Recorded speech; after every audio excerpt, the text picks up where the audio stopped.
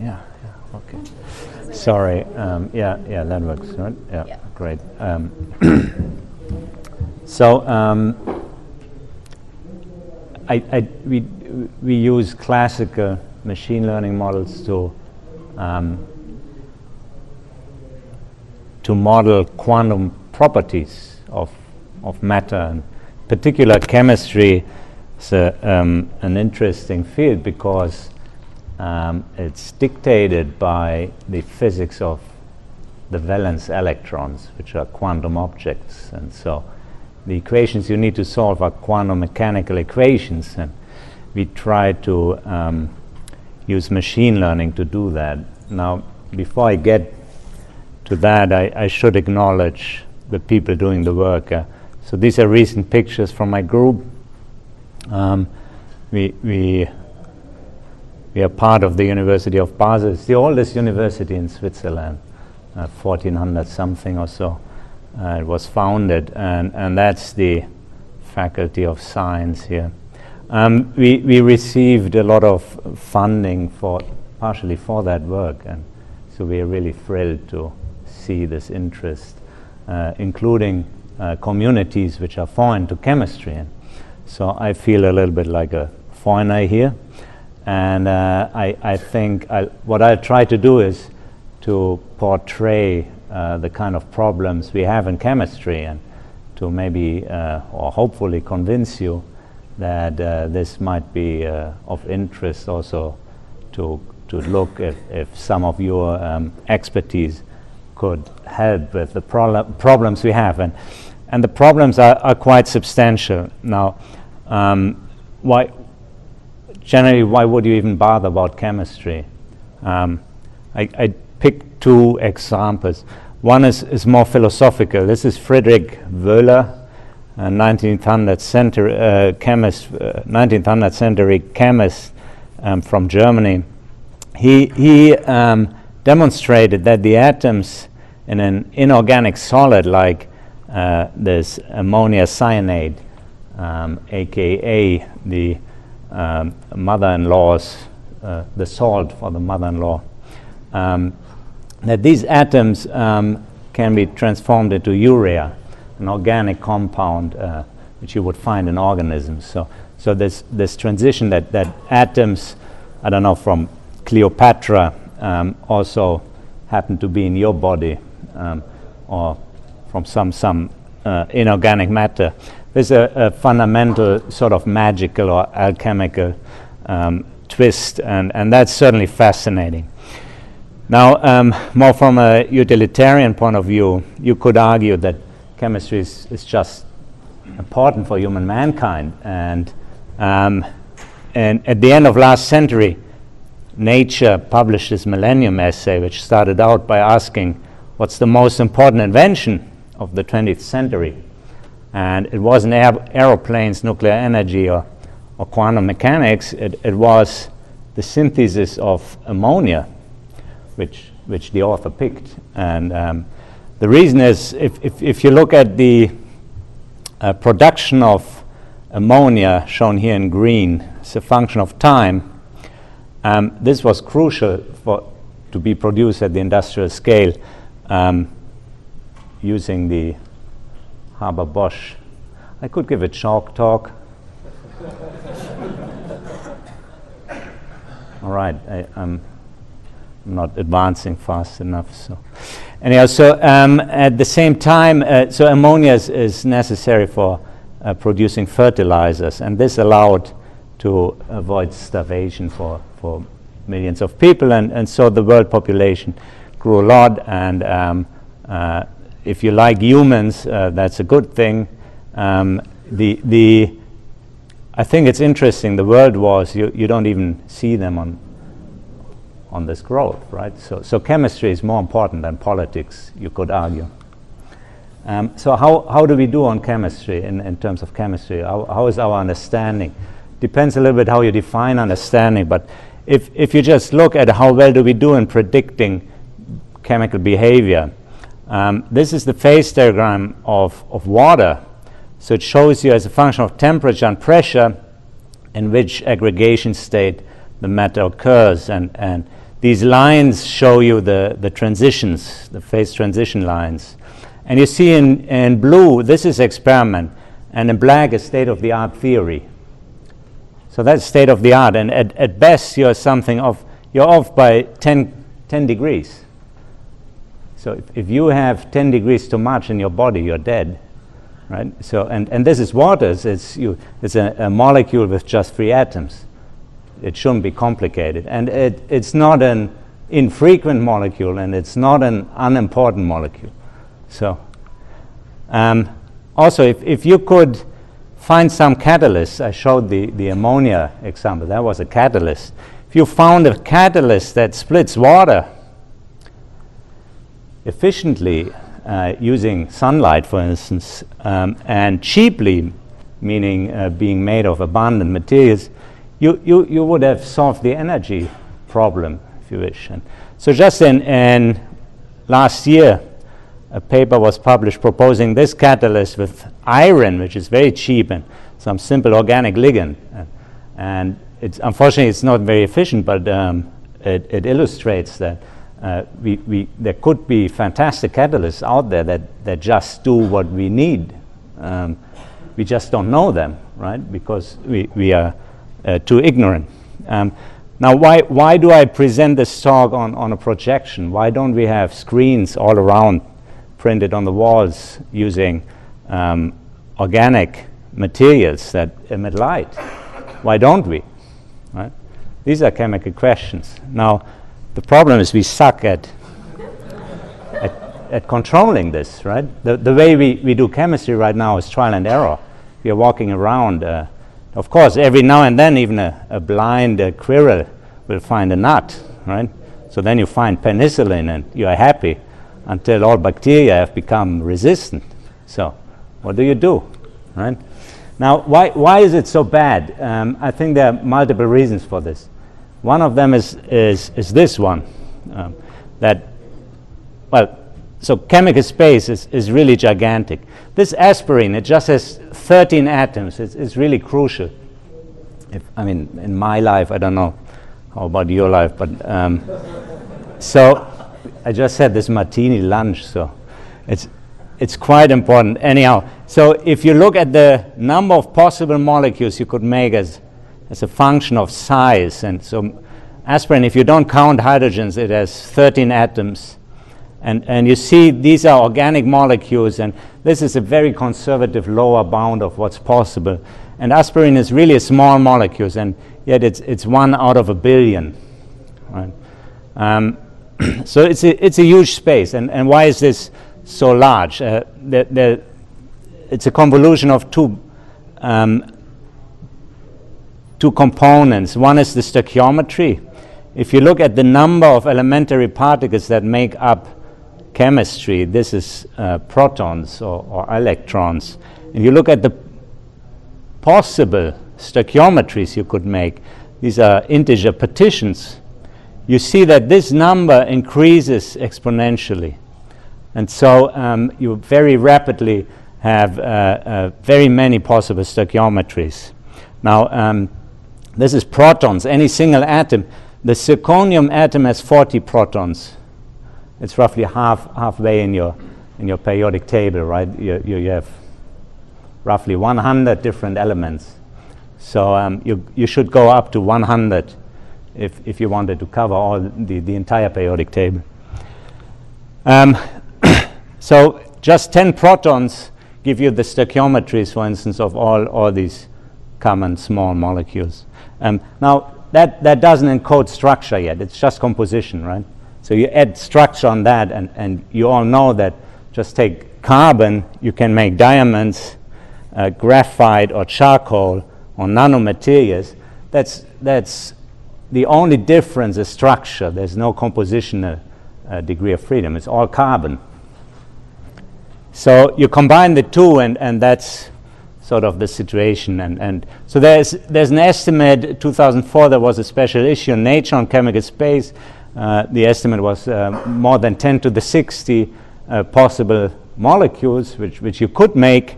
Um, and these are just organic molecules, so a very small fraction of the periodic table, right?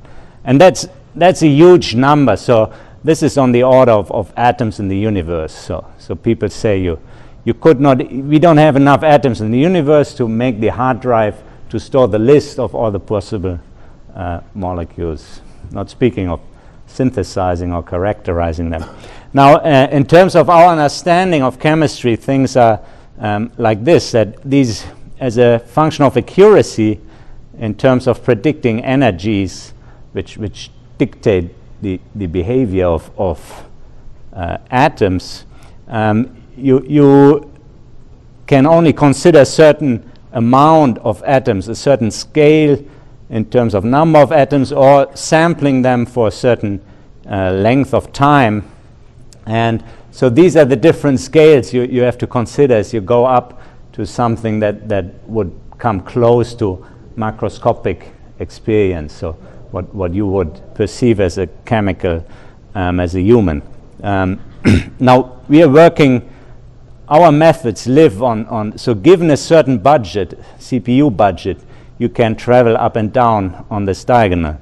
And so with, with quantum machine learning, we would like to, to go to very large systems at very high accuracy, so move on, on this horizontal.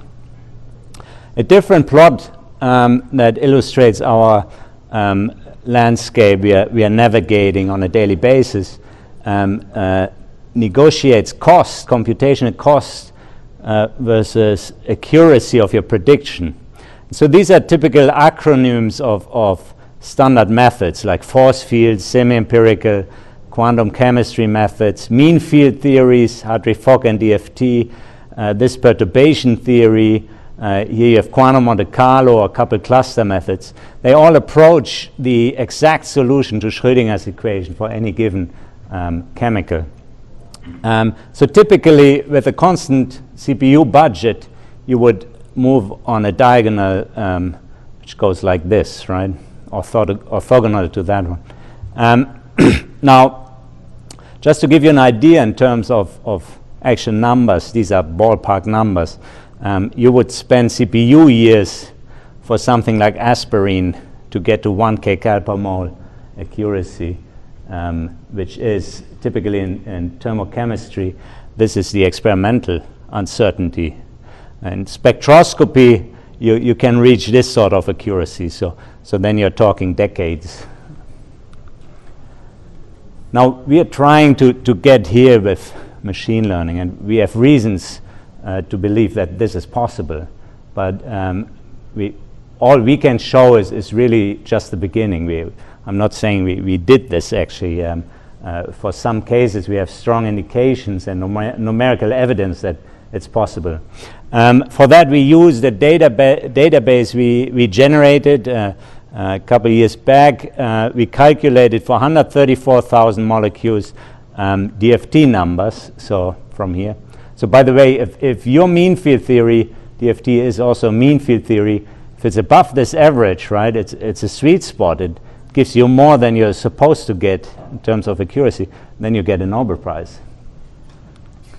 Um, so uh, we, we have this database and, and 134,000 molecules, is, uh, it sounds like a lot.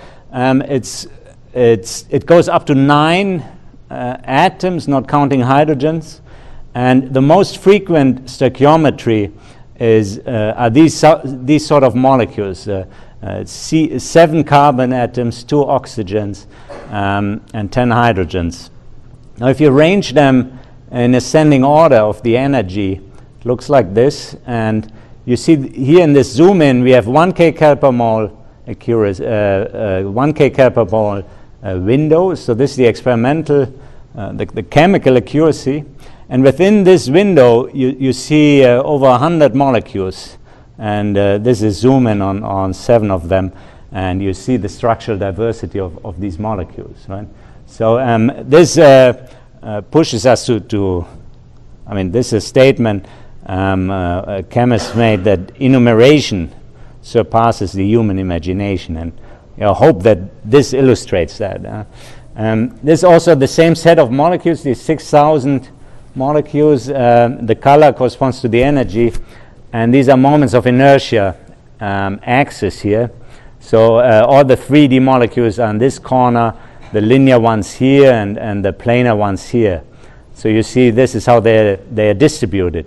Now there's an interesting thing you, you see here, it's much more sparse. And um, there's no reason in terms of energy for, for this region to be sparse. Um, actually, energetically, you should expect much more molecules here. But we do have an inherent human bias as to uh, how we perceive chemistry. Typically, we, we draw these two deep figures. And so when we generate uh, with human made rules, when we generate molecules, they often um, are, are, inherently biased. So that's uh, uh, how this came about. Now, before I show you results here, um, I'd like to point out an interesting thing that um, ordinarily when, when in, in, physical chemistry we talk about fitting, this question comes up, uh, how do you avoid the, the overfitting regime and how do you make sure that you're in this optimum of test error versus training error? And um, in fact, what, what we really want is something slightly different. We, we don't actually need this kind of red regression here. Rather, we actually want to go through every data point because every data point is a solution to Schrödinger's equation, which we obtained with a numerical noise many orders of magnitude smaller than the variance of the property we are calculating. So for all intents and purposes, our noise is negligible.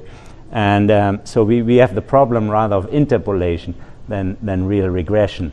So this has a, a severe effect on how these learning curve curves look like.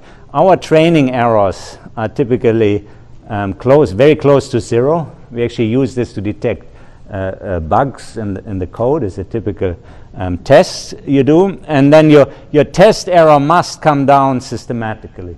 This was shown by Vapnik already in the 90s that this has to be the case. And so if, if your test error doesn't come down, I would argue you're not doing machine learning because you stop to learn, right? Um, and then it's something else. You just have a model.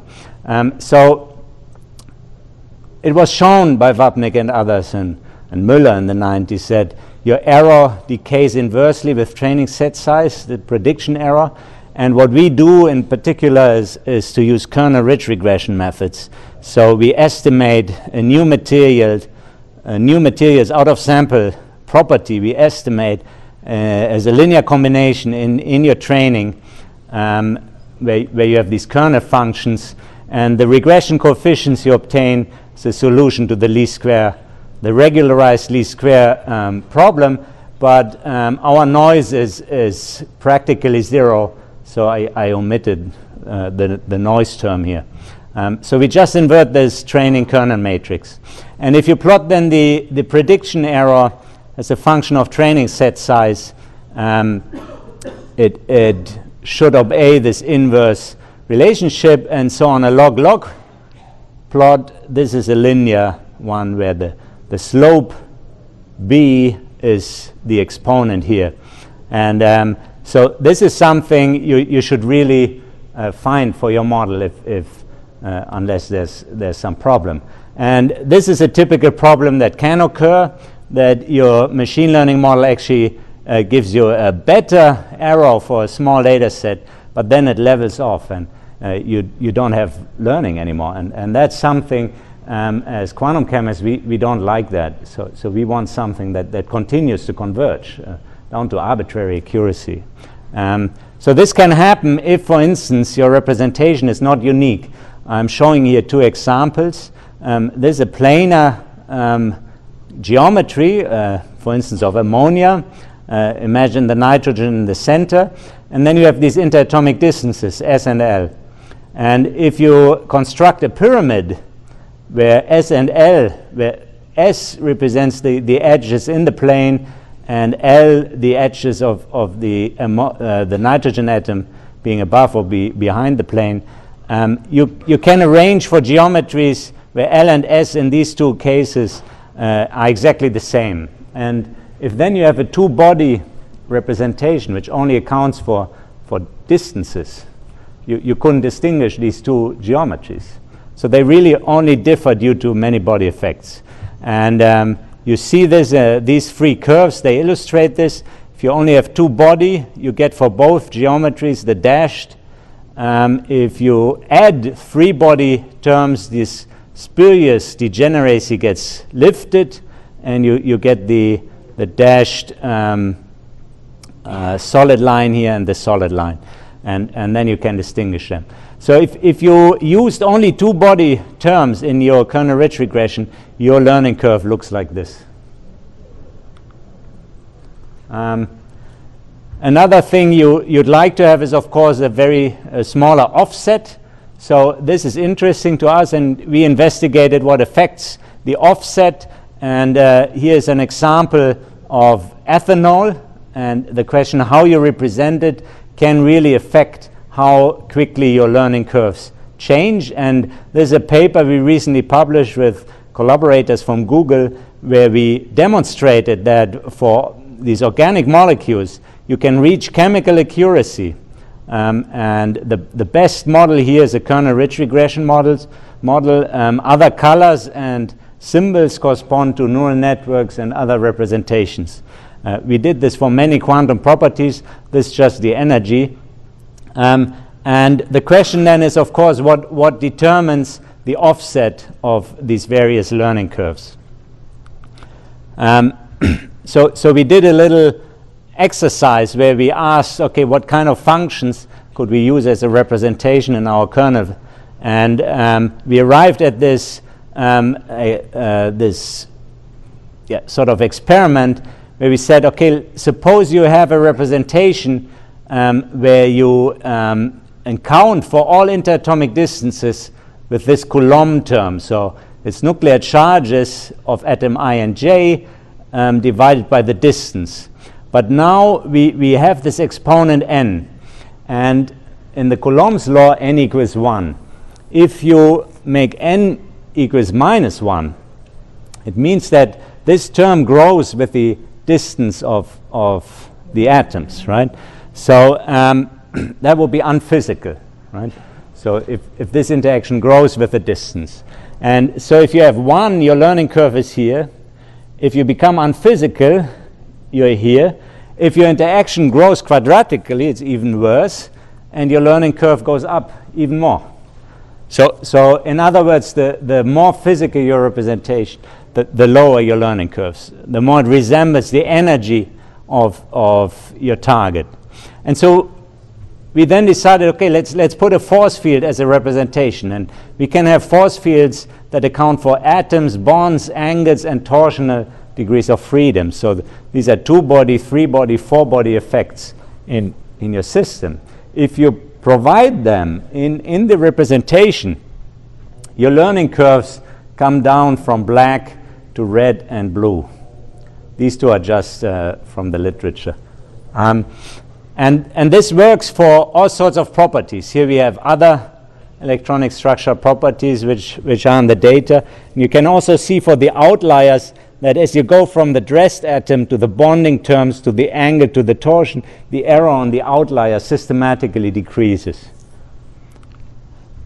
So on the left hand, you have nine properties for these isomers, these C7O2 molecules, and here on the right hand side, you now have learning curves for the 134,000 molecules, and we always observe the same trend that as you increase um, the, the degree to which your representation is realistic, um, your learning curve comes down systematically.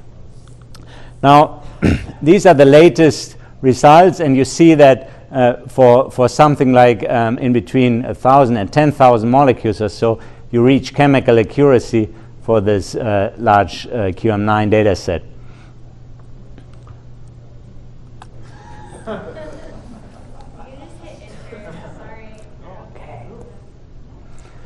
Um, so another question is if, if we can affect also the, the slope of these learning curves. The slope has to do with the dimensionality. And, and here's a, a spoiler um, that we succeeded in, in getting to, to do this. Um, uh, and the way we did this was by asking this question if, if we can look at each atom in a query molecule um, separately, right? And, and we, we we say, okay, let's, let's look at this atom let's just account for its environment, this atom in this molecule, and we can increase this environment systematically by including in the, in the periodic table, we, we extend the periodic table by the environment.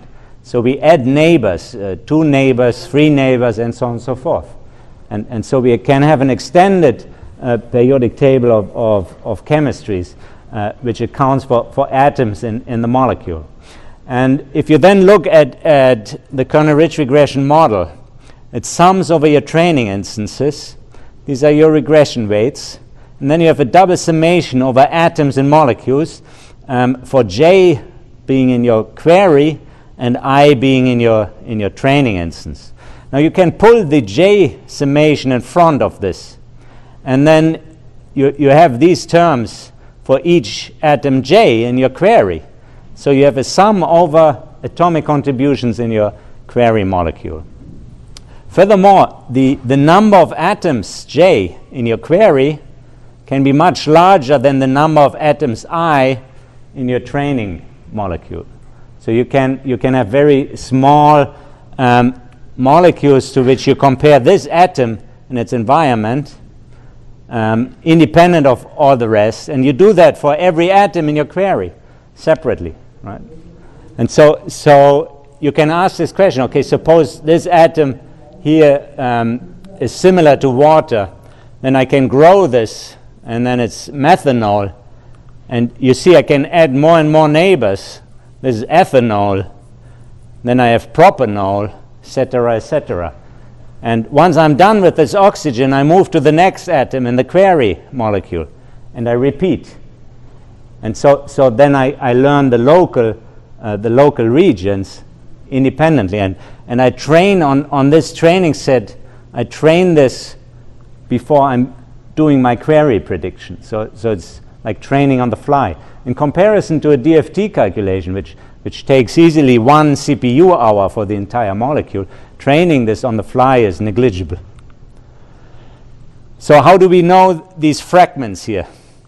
Um, it's a simple procedure we, we have here. It's a flowchart where you go through every atom and you do a subgraph matching procedure where you identify fragments. And for this query molecule, these are the fragments you would find as you go to larger and larger fragments. And up to seven, you have something like 40 different fragments. And if you remember before, I mentioned uh, 1,000 to 10,000 training instances. Now we, you have 40, right? So this is the number of fragments here. This is the error on the energy um, you make for predicting this molecule.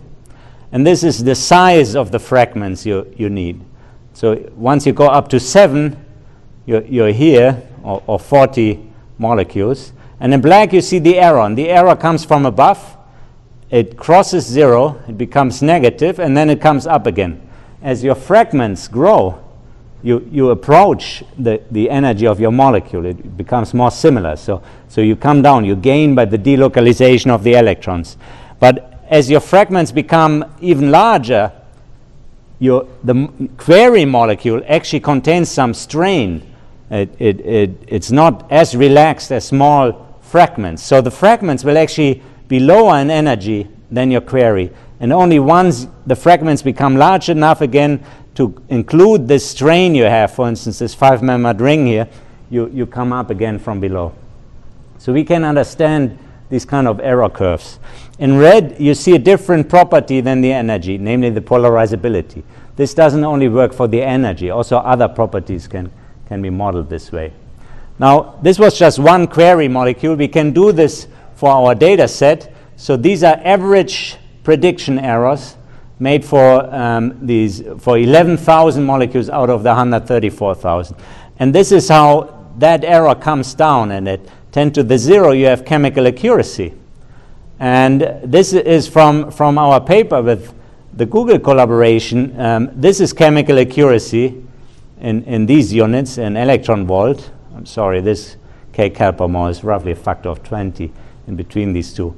Um, and you see you hit chemical accuracy at 30,000, right? And here you're at something like, um, what is this, 50. So we, we, we can change this slope by encoding for, for a different dimensionality uh, in that. And, and so we compared this also to um, taking random fragments. If you take the random fragments rather than selecting them uh, by, the su- by the graph, the subgraph matching, you get this uh, kind of learning curve which has this, this sort of slope. You can, since these fragments are, um, they repeat throughout the molecule, but also throughout different query molecules, it's like a dictionary of, of small fragments of chemistry. It's, it's, like the DNA of chemistry, right? So it's a very finite um, set of chemistries you actually have to account for. And um, if you compare it to the total size of chemical space, which is 10 to the 60 or so, um, that the number of possible fragments that actually occur is quite small. And so we, we looked at the frequency distribution of, of these fragments, and that's shown here in black. So the smallest fragments are obviously the most frequent ones. And as you have larger and larger fragments, the less frequent they are in, in your um, average query molecule. And if you go up to seven, these are the least frequent um, examples with seven atoms. And you see they are highly um, specific for certain query molecules, for certain chemistries. So um, this is very similar to the frequency, for instance, of words in, in, in, sentences, right? So what we have is something like the analog to, to a dictionary. Um, so it's a, it's a dictionary of, of chemistry, if you wish. And then your sentences are, are the query molecules. Um,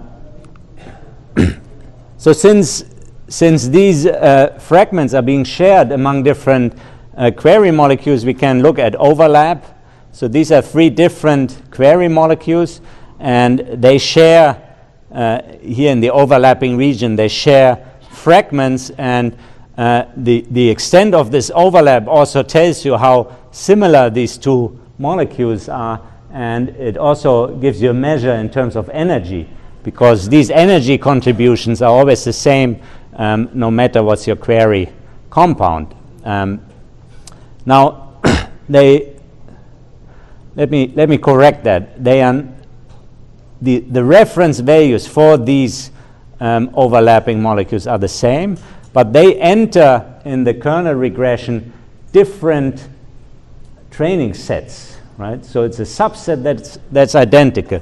But because the, the overall set is not the same, their regression coefficients will actually differ. Now, because it's an atomic summation we have, we can print out atomic energy contributions. And you see those here in numbers next to the atoms. And what you see in brackets, these are numbers that you would obtain from a physics-based force field estimates. And so these, the, the numbers in brackets are numbers which were derived from the physical arguments uh, from humans.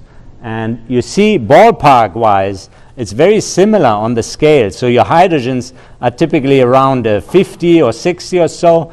Your carbons are 150 or 160.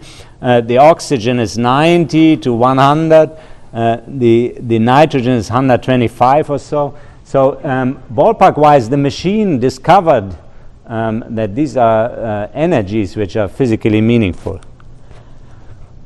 Now, because um, this is fragment based, it scales. So, so we can make predictions for very large molecules with what we think is chemical accuracy. And if you remember the, the, the, the plot where I showed accuracy versus size, um, there's a relationship in, in the traditional and the deductive models we have. But because we have something scalable, we don't suffer from that. So we can predict very large mo molecules, such as LSD here, or um, cholesterol or Viagra or, or, Taxol, which is an anti cancer drug. Uh, these are very um, complex uh, molecules. And what you see here is many different machine learning predictions versus reference validation numbers. Um, so these, all these predictions were trained on these small fragments, right? And we are making predictions for large molecules. So chemically, this is extrapolation, if you wish. But from the machine learning point of view, these chemical, chemicals are redundant. So, so machine learning wise, it's an interpolation.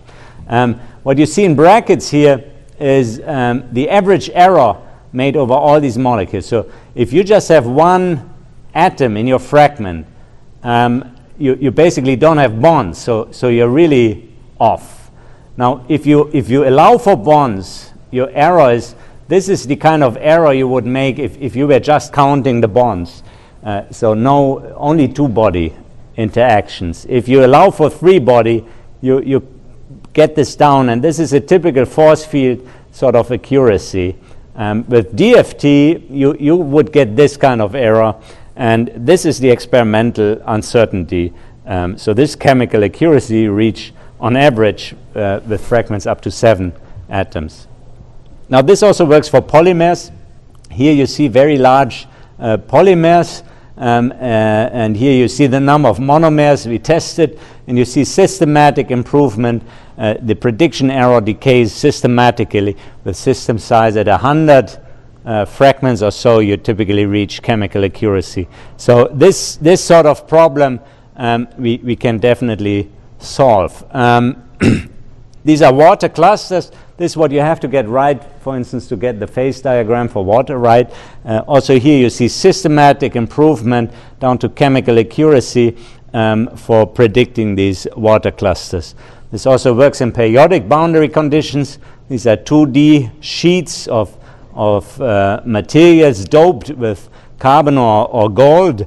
Um, and also here you see systematic improvement, uh, so reducing um, prediction errors with training set size.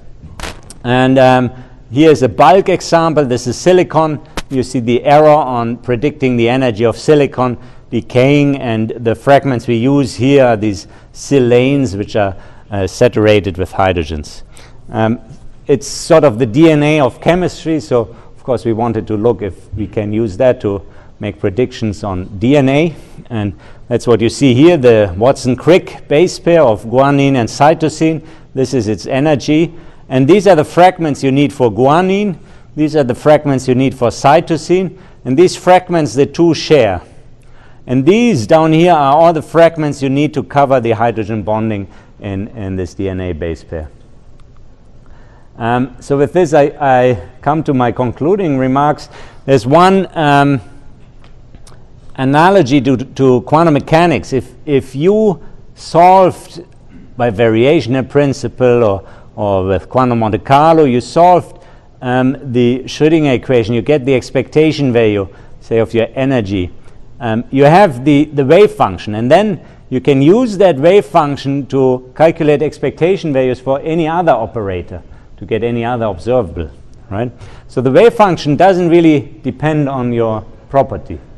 Now, there's some analogy to, to the kernel-ridge regression because here when you train your kernel, the kernel inversion doesn't depend on your property. You can multiply in any reference vector to get the corresponding regression coefficient. So in some sense, the regression coefficients correspond to your property, the kernel to your wave function. We showed this for molecules. These are very different properties of many molecules, and this uh, really works. Um, when traditionally we, we map composition and coordinates to energy with, by solving the wave function problem, as described by my previous speaker, the machine learning really um, allows us to, to infer that solution um, given sufficient training set sizes. So in some sense, the traditional um, relationship between experiment and quantum mechanics informing the human is augmented by a third component here, where we also use machine learning um, to accelerate um, the, the, our understanding of uh, chemical problems. this is an outlook. Um, we used um, our model to predict forces now, and um, these are forces on a molecule which was not part of training, again using this fragment approach. And before um, you see the deviation in geometry and you can relax the geometry and you, you obtain very good agreement. This also works for, for non-covalent bonding. Finally, I leave this in, in case you're looking for a PhD in chemistry or, or postdoc position. Uh, don't hesitate to contact me. Thank you for your attention.